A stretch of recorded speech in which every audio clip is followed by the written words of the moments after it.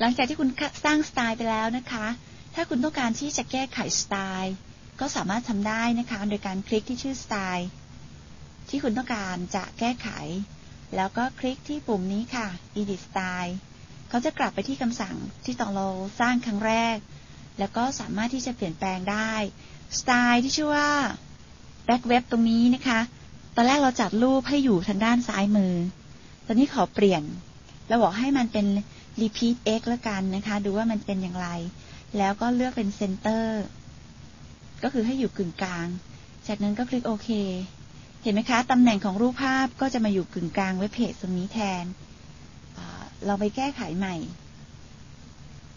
บอกว่าขอเป็น repeat y แต่ให้อยู่ที่ทางด้านขวามือแล้วกันนะคะ repeat y fix ชื่ออยู่ทางด้านขวา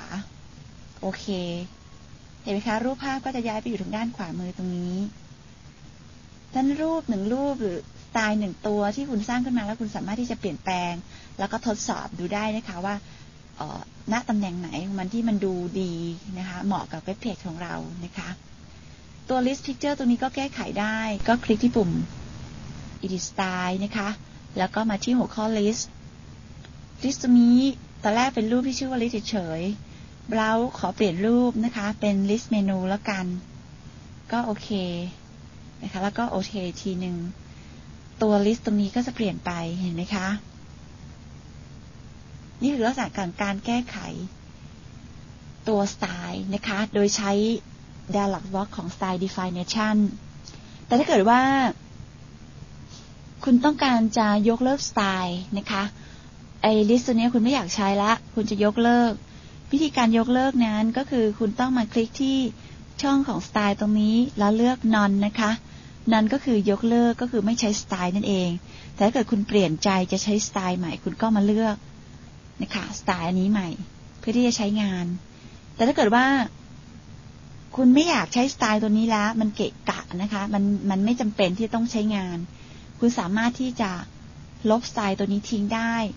โดยการคลิก ที่ชื่อสไตล์แล้วคลิกที่ปุ่ม delete cs style นะคะ ตัวสไตล์นั้นก็จะหายไป ก็คือคุณไปลบมันนั่นเอง